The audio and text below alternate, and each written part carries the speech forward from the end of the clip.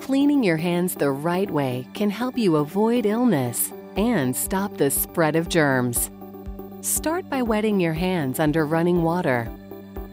Add enough soap to lather all surfaces of your hands. For at least 20 seconds, scrub all over your palms, the backs of your hands, between your fingers, and under your nails.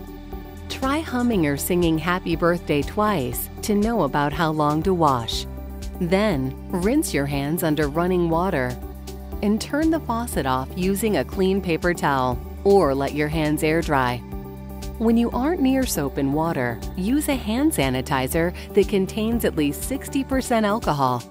Rub all over your palms, the backs of your hands, and between the fingers until your hands are dry. Younger kids will need help cleaning their hands. And older kids and teens still need reminders for doing it the right way.